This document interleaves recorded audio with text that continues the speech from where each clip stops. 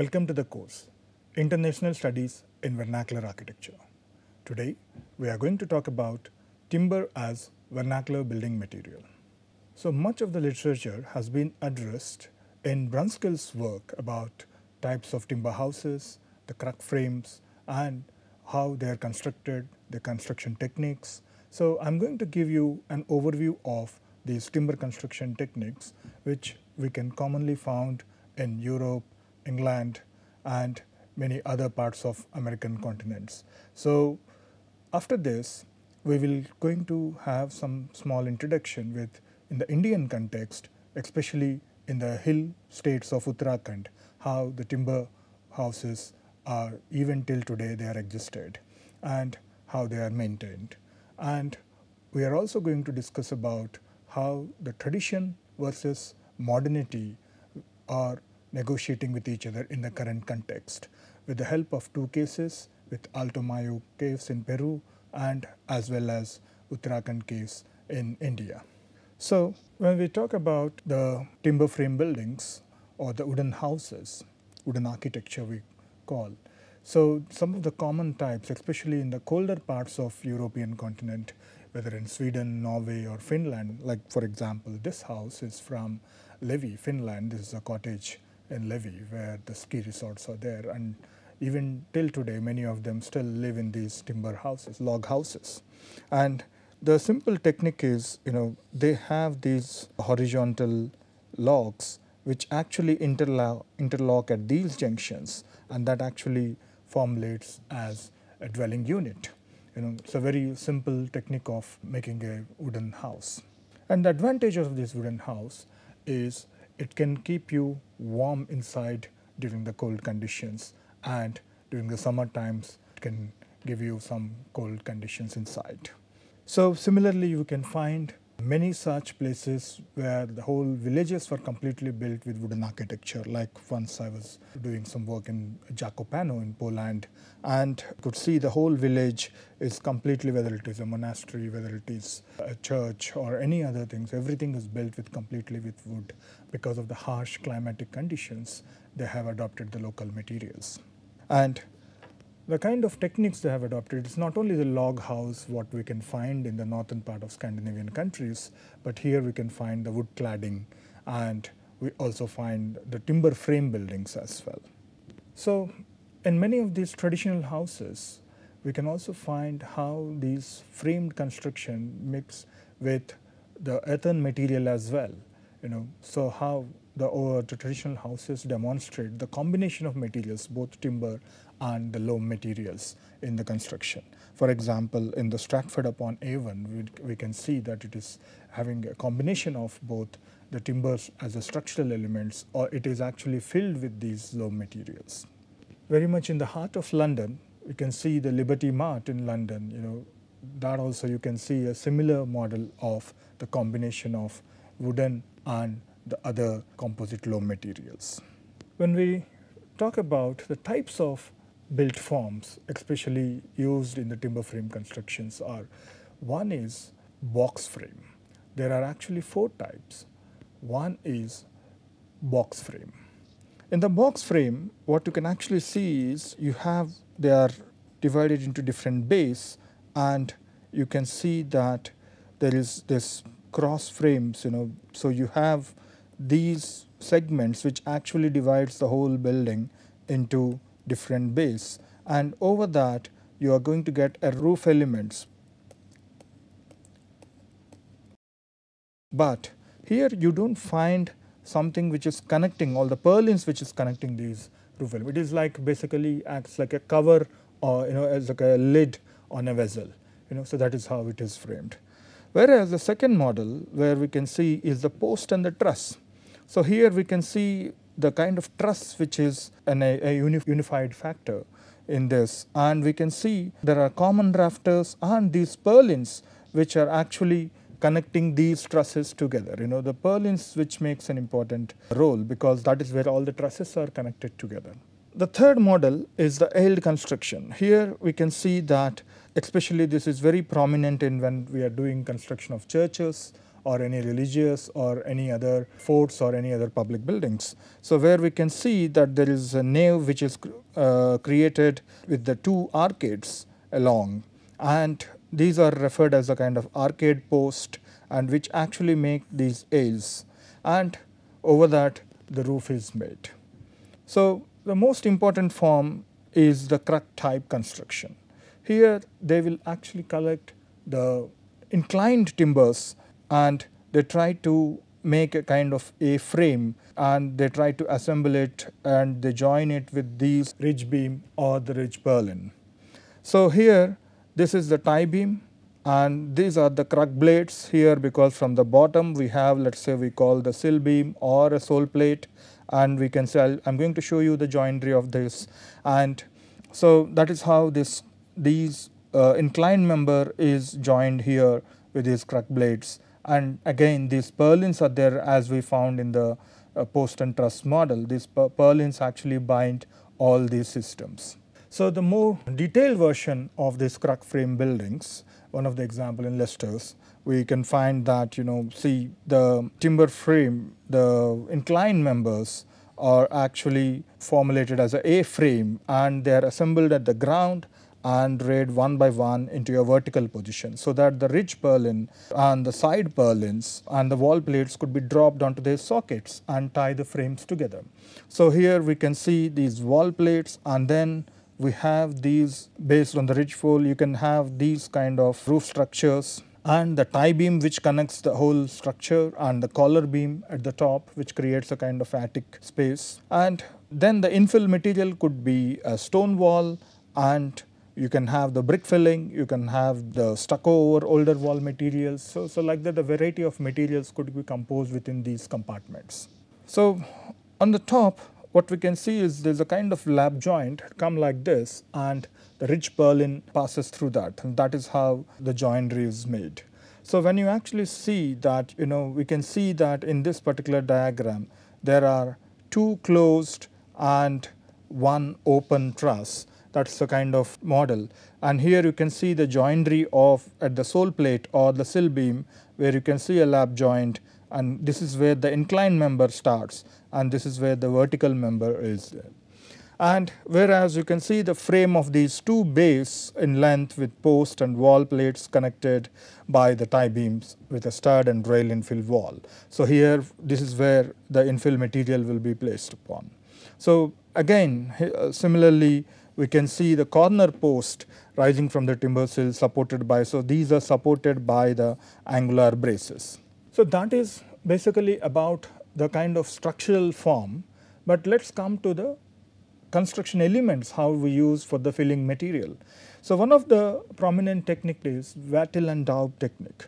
So here if you can notice like these are the staves I think if these wooden logs are actually making these compartments and the horizontal rails and the vertical studs they actually make a square panels and within that you have these uh, staves which are actually pushed into these upper side and the lower side of it. So in that way they actually formulate a grid within this box.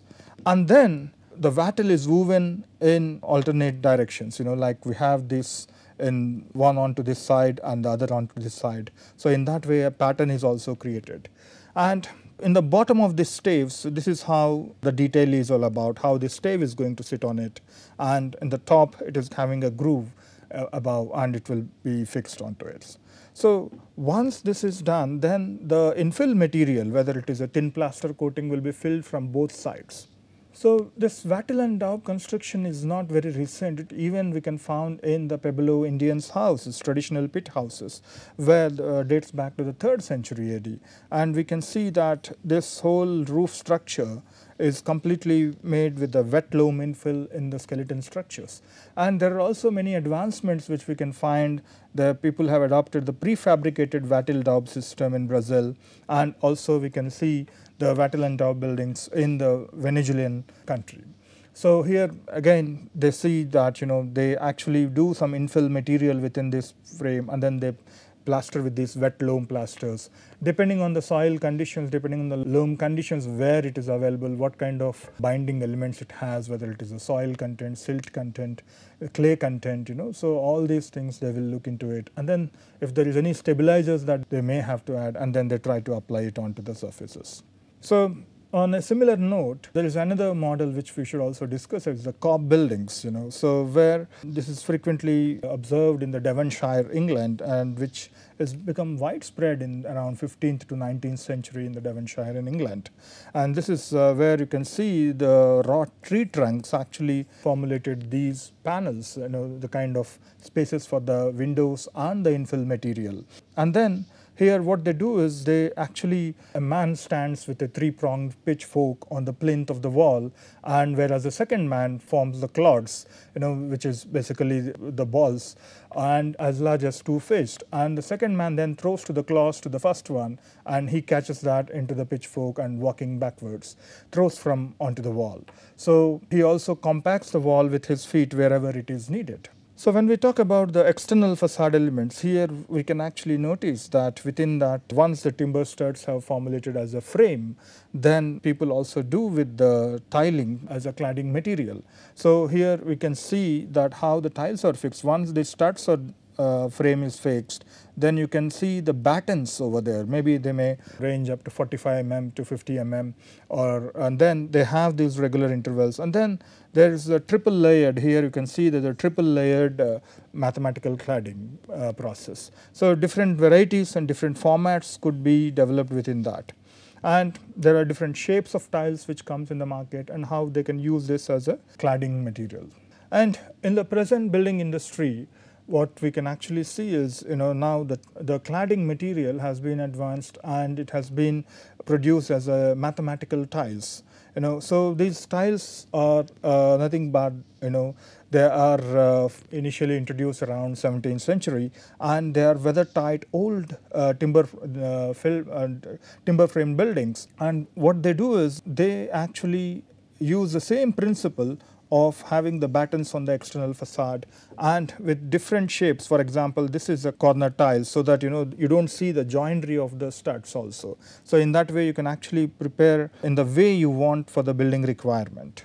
And similarly, uh, we use weatherboards and this is also in the similar technique like here, you know, uh, we have these battens and they overlap to one another and generally the way it has to be fixed onto this side because the rainwater when it falls it has to drive from top to down.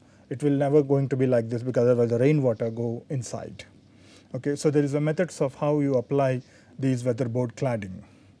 And nowadays, of course, they are also using certain ACP panels or the aluminum panels also in the cladding material.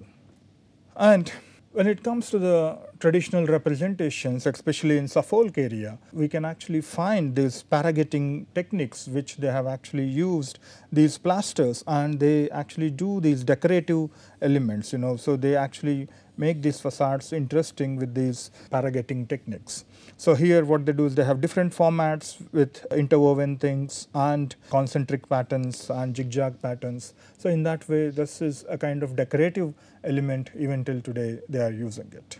And we talk about the timber walling with the brick nogging technique. So as I said, once the frame is done and the studs and their sill plates and the roof plates once the frame is done. So basically the infill material we have talked about wattle and daub technique, we have talked about the cladding techniques and the brick nogging technique is also an important factor. So you can arrange these bricks in different directions in a different zigzag pattern here or uh, you can see that they can also, if in the same house, you can see they are arranged in different patterns. Here you can see a zigzag pattern and here they are arranged in an inclined pattern in one direction, an inclined pattern in another direction. So in that way, uh, patterns could be created with these process. So the detail of it, if you look at it, you know, so this is how the detail could be worked out. And to be having more clear understanding of, so you can see that brick has been knocked within these spaces and that's how the patterns are created and they are actually followed uh, a particular typical element uh, in both the cases if you see like uh, they are following some similar patterns on either side of it. So that is a kind of background on uh, how the timber buildings, the wooden architecture was there and how different types of buildings do exist and how different patterns of the construction elements do exist. But now we are going to talk about how these traditional elements, how they actually respond within this modern setups, you know, modernities. So I'm going to talk about two different contexts. One is in the Peru context and the other one is in the Uttarakhand context.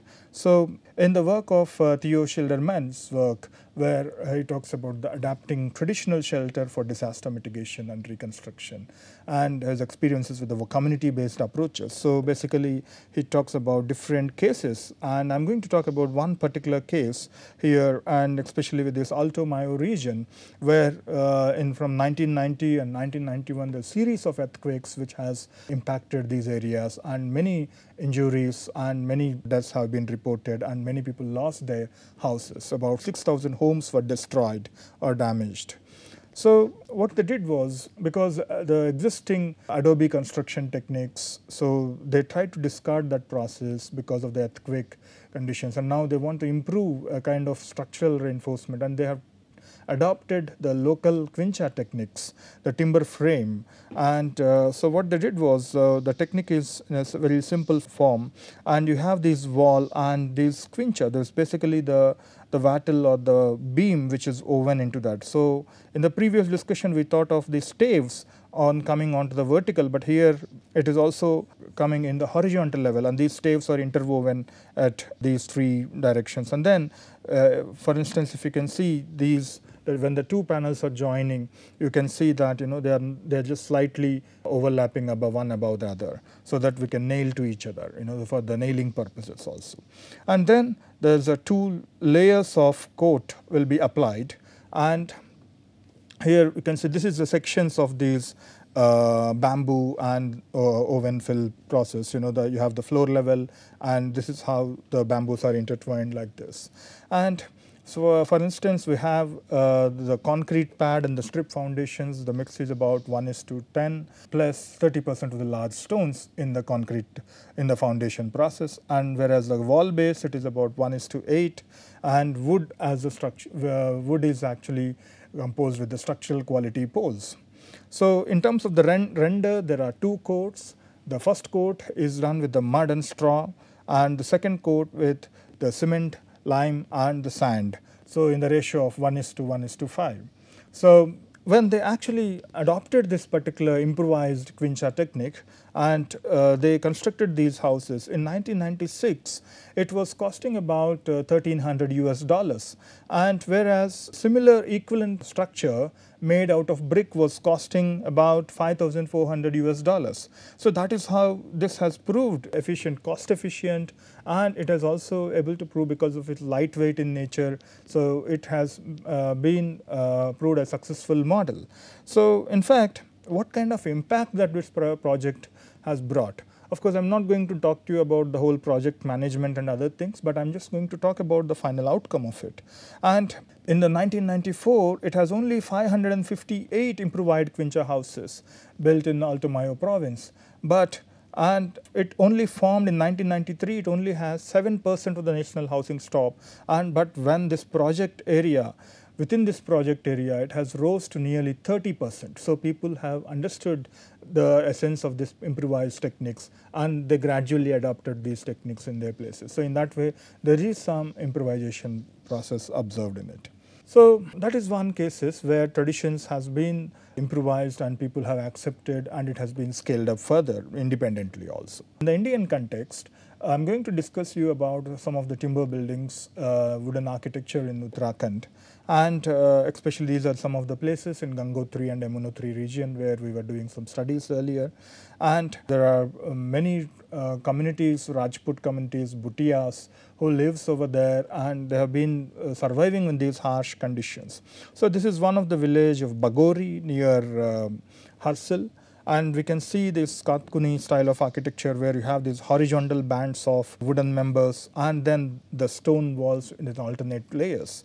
So uh, they are best proven as a kind of uh, traditional earthquake uh, formats because uh, you know the alternate the, these wooden bands act as like a sill band and the lintel band what we use in our regular constructions. So they are being uh, proven very efficient and you can see that there is very linear village and this is a kind of traditional character of this village. There have the Buddhist monks, the temple and their whole dwellings are made with uh, of course usage of the pillars as well as the top floors and the railings and the roofs are made completely with the and the floors are made with the wooden uh, elements and the, even many of the houses are completely made with the wooden elements. So these were uh, these people used to live uh, before in Nelong Valley, and after the war they moved here and then they settled here. And during that time they constructed using these timber houses. But if you look at it, the kind of artisans, the kind of craftsmanship they invested, you know, that is uh, very interesting. And today, unfortunately, you don't find such uh, craftsmen who can do this kind of meticulous work you know. So uh, there are some linguistics associated to it, there are some signs and symbols associated their house friends and their belonging. But many of these people, they have to live four months during the harsh winter times in the downhill areas, maybe in Dunda area, and then they mostly come in the summer times and live here.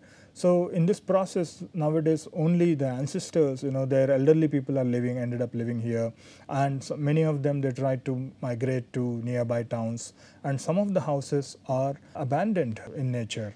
And some of these you can see that they are actually modifying some of their techniques.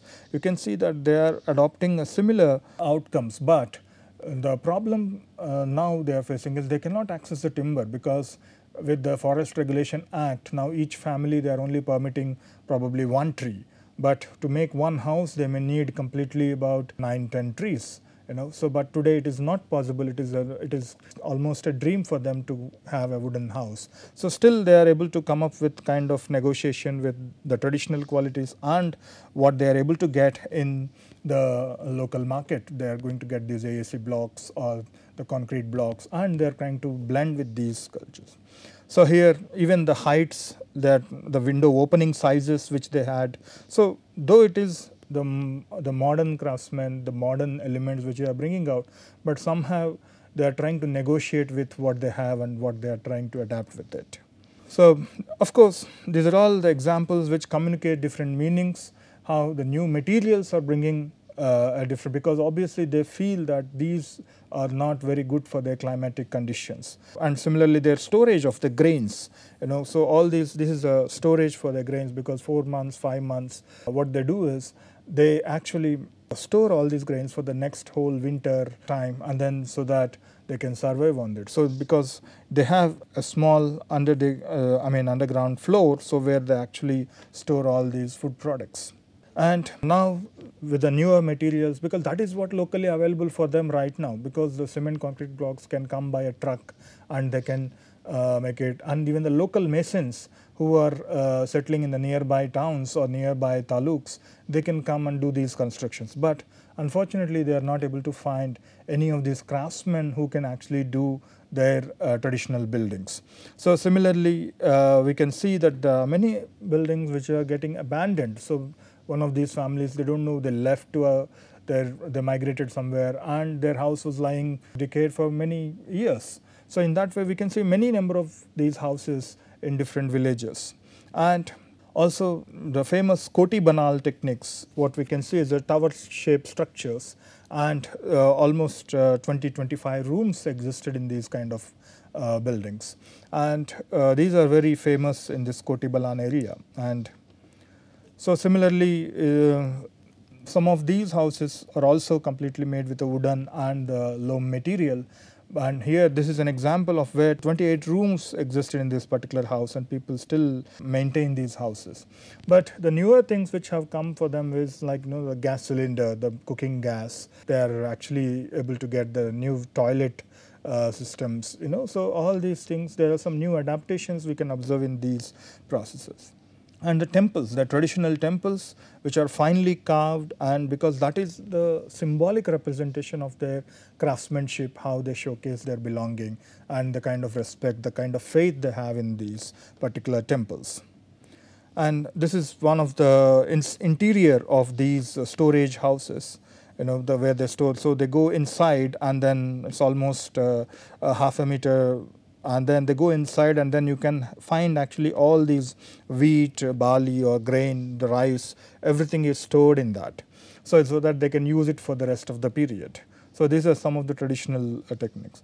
But today what you see actually commonly in these villages is many of these traditional houses are getting abandoned and the newer constructions are coming into the picture. But uh, one has to really understand, you know, are they really not able to qualify for this or why are people, why are people able to go for the newer construction? This is something one really have to inquire. And even after the disaster, one can see after the earthquake, uh, though this house has uh, got some minor repairs and it is not safe to live here, but you can see the inclined facade. And people, they constructed a new house next to it, but still the elderly people they still live in this house and they cook there because they they have their attachment in these particular houses and they feel comfortable because of the cold climatic conditions and what the kind of uh, uh, you know the comfort level they get in these particular houses. The similar model they have people have abandoned and they start building a new house this uh, next to each other. Now after the this is somewhere near Yamunotri, there's a village near Karadi and uh, where some of them were affected, their hotels were affected, their houses were affected. And now, uh, in response to this, what they did was they got their, they have their own land and they constructed um, in a completely modern uh, responses. So this is one thing when we went there, we can see like the way uh, the tiling is done, the floor tiles are there, the ceramic tiles have been used, and then the way we observe in our plain lands, that is what the newer gra new grammar is associated in these hills. But whereas for the animals, they started making some of these, uh, they are using the timber and they are making these elements there like you know, for animals to stay. But the newer generation, because they are now getting familiar with the, uh, the architecture in the plains. So, it is actually taken into the hills also now. So, apart from this, there are also some institutional efforts where how how to actually transfer this knowledge like for this case of Pakistan the Dhajji Dewari technique you know how the the, the Pakistan government uh, the NDMA Pakistan they also promoted certain guidelines where uh, how can we incorporate these traditional techniques. And uh, it's a kind of manual and how it can help the villagers or the artisans or the contractors who can actually carry on these traditional technologies. You know, so uh, in the next class we are going to discuss on a similar issues about the advancements in the material applications. Thank you very much.